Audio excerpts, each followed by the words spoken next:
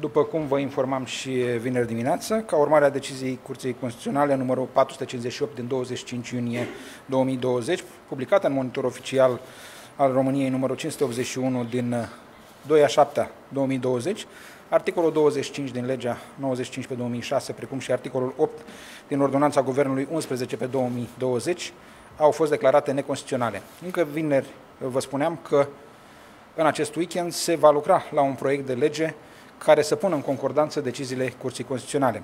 Suntem în măsură și astăzi a fost aprobat în uh, ședință de guvern un proiect uh, legislativ care să inițieze niște măsuri igienico-sanitare pentru situații deosebite de risc epidemiologic sau biologic.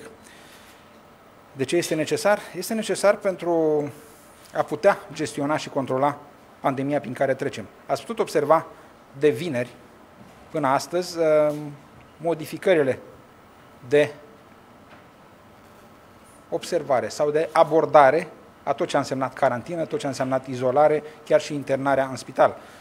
Noi suntem în acest moment uh, într-o evaluare a numărului de cazuri care, în care s-a solicitat externarea sau numărul de persoane care au părăsit uh, izolarea sau carantinarea uh, voluntară sau, uh, sau pentru cei care au, nu au respectat izolarea și au solicitat uh, uh, punerea în, în concordanță cu decizia curții. Dacă este să facem o evaluare de, de ieri până astăzi, deși astăzi avem 250 de cazuri noi la 4600 de teste, avem o diferență de număr de pacienți în spitale de 550. Deci vă gândiți că avem 300 de ieri cu 250 550 de pacienți mai puțin internați în acest moment în spitale. Deci acesta este numărul de la o zi la alta în care pe teritoriul României s-a solicitat externare. Suntem uh, într-un moment în care acest proiect de lege a fost aprobat în uh, ședința de guvern, va merge în regim de urgență în uh, Parlament. Sper ca ceea ce spuneam și vineri, un interes național, un interes de sănătate publică, sănătatea poporului român, să nu lase loc de interpretare politică. O să rog pe domnul secretar de stat Arafat să prezinte în detaliu acest proiect de lege. Bună ziua!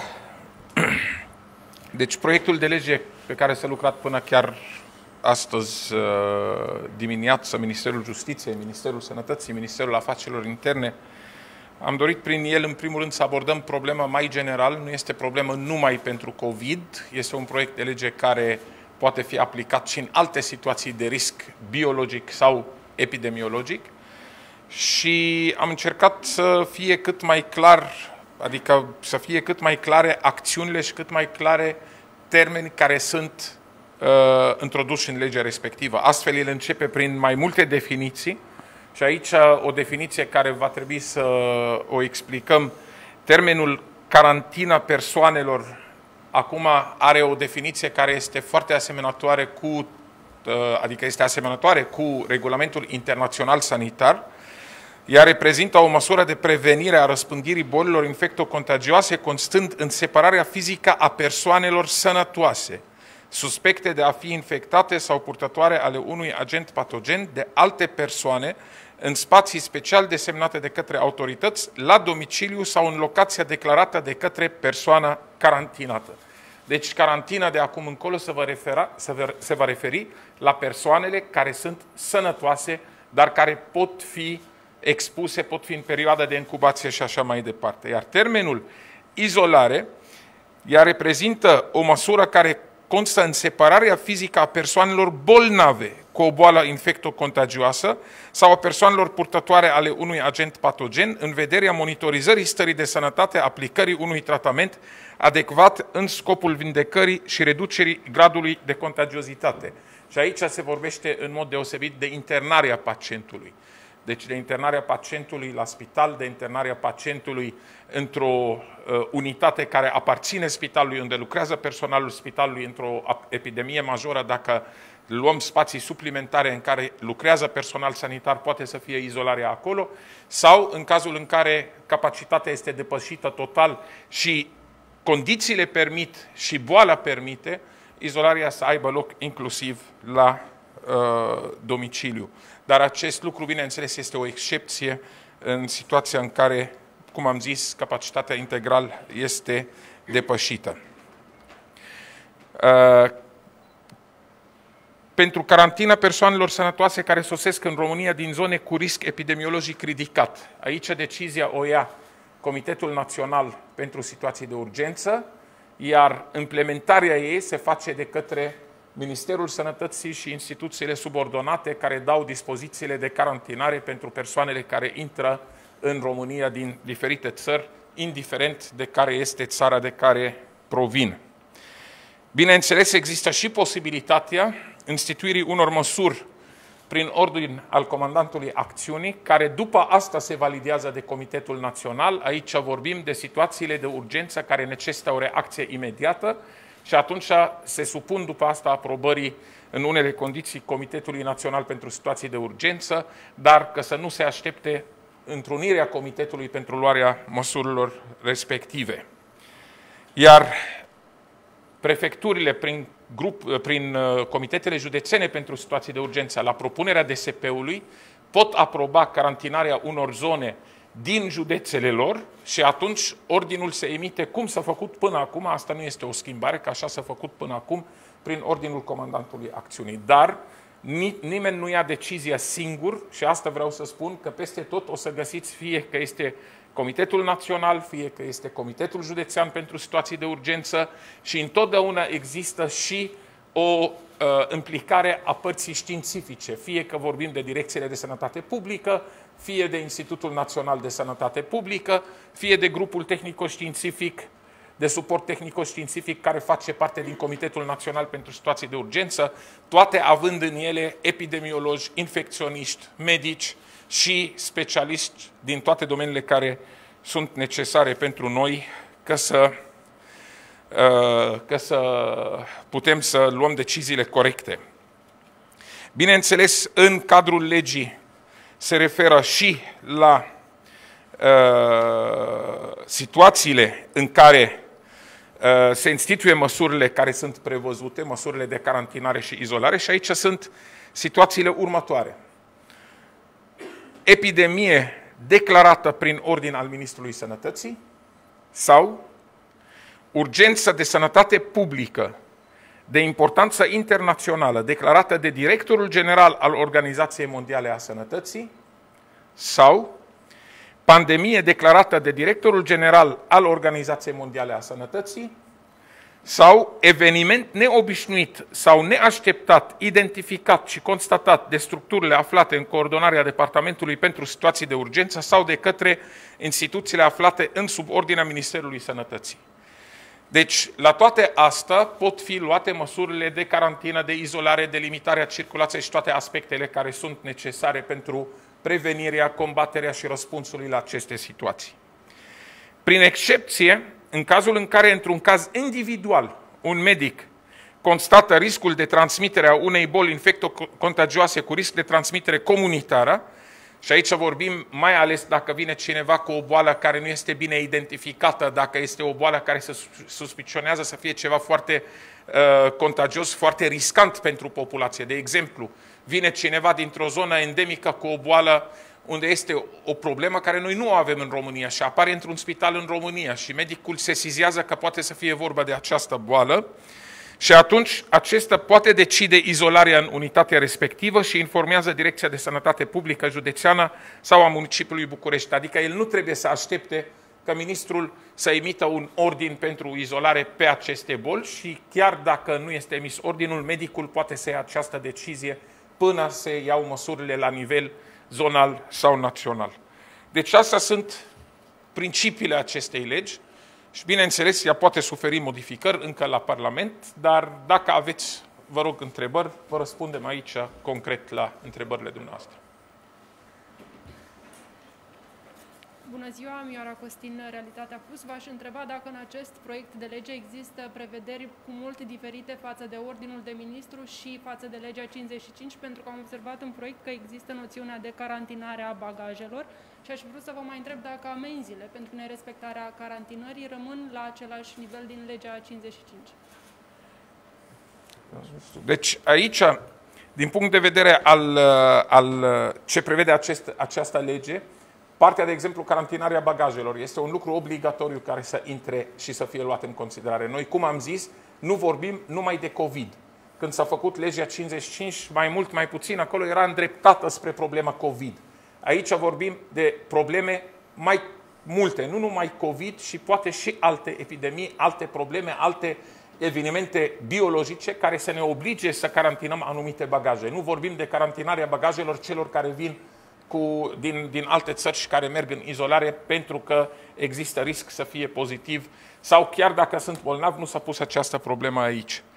Cât despre amenzi, aici este corelat cu codul penal din ce știu legea, deci aici colegii de la Ministerul Justiției au lucrat pe acest aspect și rămân valabile luarea unor măsuri, inclusiv cele penale, care sunt corelate aici cu codul penal în legea respectivă.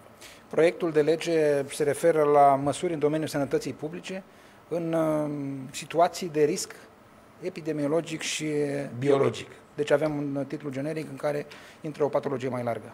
Adică când vorbim de risc epidemiologic și biologic, la biologic vorbim și de riscul accidental sau intenționat, nu numai de partea cu uh, faptul că apare o infecție care apare undeva și începe să se răspândească și duce la apariția unei epidemii sau pandemii. Și aici vorbim chiar la un accident într-un laborator, la o situație care se întâmplă cu transportul unor materiale biologice, cu risc înalt și așa mai departe. Bună ziua, Alexandra Georgescu, Digi24. V-aș întreba dacă ați văzut imagine din uh, acest sfârșit de săptămână de la mare, de pe litoral, unde sute de persoane au stat fără nicio respectare de distanțare socială, fără măști, au trecut și o mașină de poliție în zonă. Cât de periculoasă este o astfel de, un astfel de eveniment și, până la urmă, cât ne ajută această izolare și carantină dacă oricum vedem în acest moment nu prea se respectă nici măcar limitele acestea de distanțare socială. Aceste imagini nu sunt doar din acest weekend. Avem astfel de imagini de vreo patru săptămâni. Ehm, am făcut și facem în continuare apel la tot ce înseamnă distanțare fizică, respectarea unor recomandări și precauții. Partea medicală pe care sistemul medical, ehm, tot ce înseamnă ca un Comitet Național pentru Situații de Urgență, putea să o desfășoare, ehm, ne-a fost îngrădită, chiar limitată la, de hotărârea Curții Constituționale. Suntem uh, într-un weekend în care cred că toată lumea, inclusiv cei care vor trebui să decidă în săptămâna următoare în Parlament, cam ce se poate întâmpla atunci când nu avem aceste pârghii.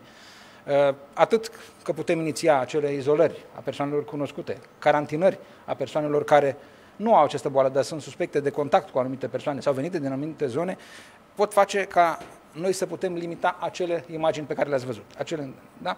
Stipularea uh, organelor de control, colaborarea noastră cu agenții economici care beneficiază de aceste relaxări, cu populația civilă, care sunt la rândul lor beneficiari ale acestor relaxări, ar trebui să fie în contextul acelor norme pe care le-am precizat la fiecare etapă de relaxare, în condițiile în care doar noi, ca și parte medicală, ca și parte guvernamentală, respectăm aceste reguli, vom vedea imagini ca cele pe care le-am văzut și în acest weekend.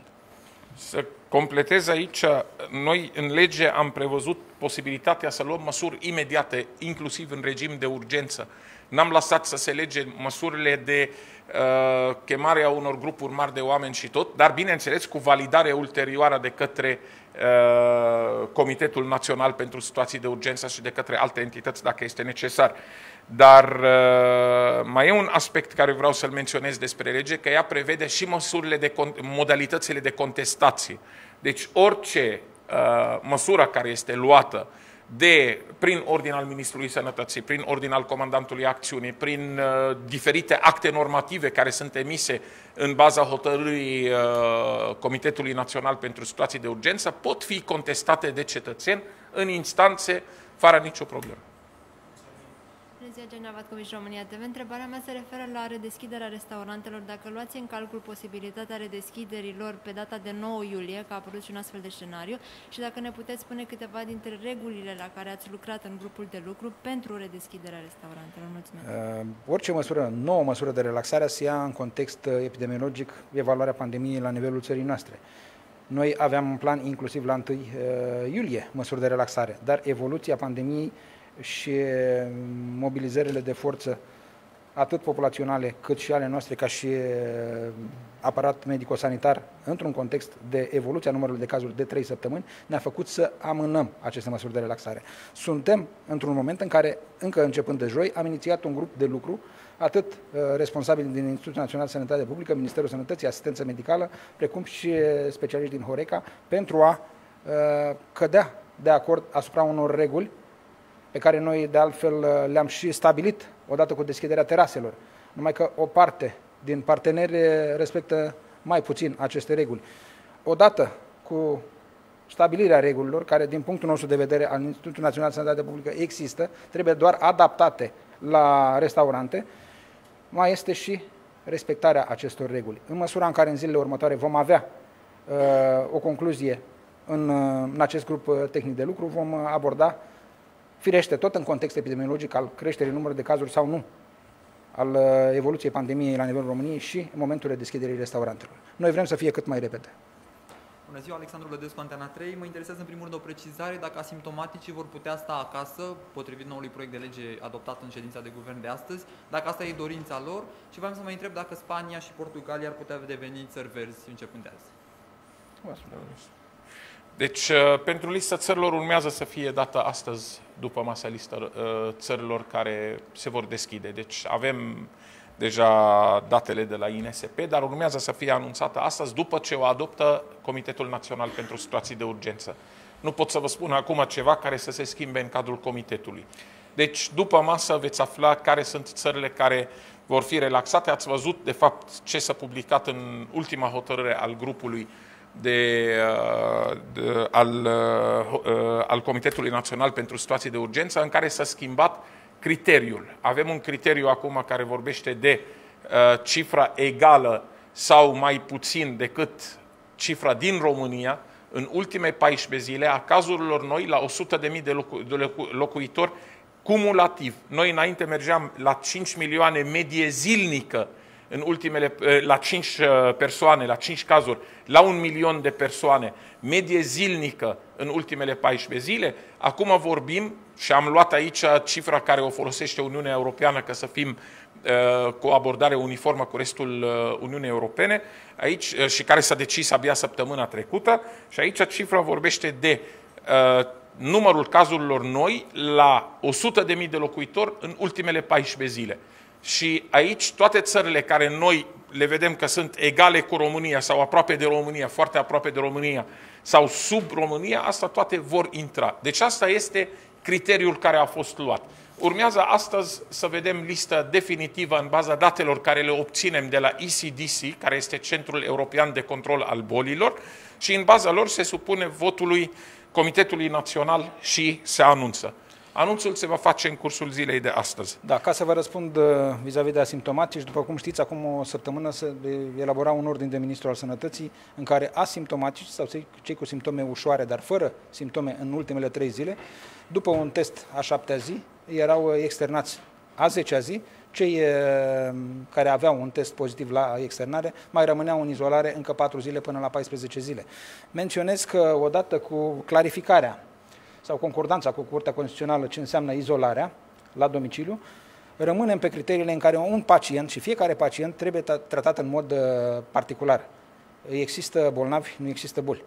Evaluarea fiecărui pacient, clinică, paraclinică, um, pe aparate și sisteme al unui medic curant, poate decide evoluția uh, în timp a externării sau nu. Suntem într-un moment în care fiecare pacient, chiar asimptomatic la început, poate dezvolta din a doua până în a 10 zi simptomatologie. Este asumarea medicului curant, dar uh, asumarea medicului curant trebuie să se producă în niște uh, condiții stabilite și prin, uh, și prin această lege, dar și prin uh, patologia pe care o prezintă acel uh, pacient și decizia va fi a medicului curant, dar la fel, în momentul de față avem acel de ministru care spune că asimptomaticii vor fi externați după ce avem un test în a șaptea, opta zi și cu recomandările în consecință. Și mai subliniez că legea nu se referă numai la COVID. Asta am zis-o înainte și o repetăm, că să se înțeleagă că prevederile sunt prevederi generale care mâine poate să se aplice unei alte boli, unei alte epidemii sau pandemii. Bună ziua, Alexandra Popescu, Antena 1 Observator. Domnule ministru, dacă puteți să-mi spuneți câți pacienți au fost externați până în acest moment în urma deciziei Curții Constituționale și cine îi verifică pe acești pacienți pentru care nu au trecut acele 10 zile când se putea face externarea? V-am spus în expunere, de ieri până astăzi sunt cu 550 de pacienți mai puțin în uh, spitale. Dacă Uh, au solicitat acea externare, au solicitat-o pe proprie răspundere, fiind avizați de medicul curant ce ar trebui să respecte și în ce condiții ar trebui să se desfășoare perioada lor uh, post-spital. În condițiile în care acceptă acest lucru, monitorizarea se face de către medicul de familie, Direcția de Sănătate Publică, care ia act de faptul că acest pacient a fost externat. Dar um, condițiile sau neconcordanțele cu Curtea Constituțională ne fac ca în acest moment să nu avem pârghiile necesare până în apare proiectul de lege, să putem urmări și coordona, să spunem, acel pacient care a fost externat. A mai apărut o problemă care ne-au sesizat-o colegii de la structurile de primiri urgențe, pacienți, de exemplu, mi s-a dus la cunoștință cazul unui pacient chiar în stare serioasă, care a necesitat oxigen, a necesitat să fie pus sub uh, uh, sistem de uh, asistare pentru ventilație, nu neapărat uh, intubație, și a refuzat internarea la spital și chiar cu, cu un nivel de oxigenare scăzut, a plecat fiind simptomatic acasă, pe propria răspundere. Normal că astfel de persoană reprezintă un risc major și pentru familia și pentru orice persoană se întâlnește cu ea în perioada respectivă, plus este un risc major asupra sănătății sale, pentru că, având în vedere parametrii cu care a plecat, toți colegii l-au explicat că probabil va ajunge înapoi cu ambulanța în stare critică, sau poate că o să se agraveze starea și o să fie prea târziu până ajung colegii de la urgență la el, pentru că în astfel de situații oxigenarea și condiția respiratorie a bolnavului poate să fie deteriorată foarte rapid și să nu ai cine să te ajute acasă. Deci asta au fost probleme cu care s-au întâlnit cu ele colegii în unele unități de primiri urgențe. După cum pot spune că au existat și pacienți în diferite județe care, externați a 10-a zi, au solicitat carantinarea voluntară pentru a feri familia uh, de expunerea pe care o pot uh, produce ei. Bună ziua, domnule ministru. Aș dori să vă întreb, înțeleg că dimineața ați avut o întâlnire și ce ați discutat cu cei care au nevoie de transplant pulmonar? S-a discutat despre situația transplantului pulmonar în România, cazurile care se pot transplanta în România, evaluarea periodică, care în ultima, ultimele șase luni a avut de dorit a fiecăruia dintre ei, stadiul discuțiile cu terțe țări în care se pot face și putem încheia acorduri de transplant pulmonar și discuția a fost precedată de discuția cu domnul doctor Radu Zanfir, directorul Agenției Naționale de Transplant, urmând ca după ce au plecat de la minister, aceștia să meargă pentru lămuriri și pentru, eu știu, stabilirea unor termene cu, cu cei care sunt în cauză. Mulțumim! Mulțumim! Mulțumim.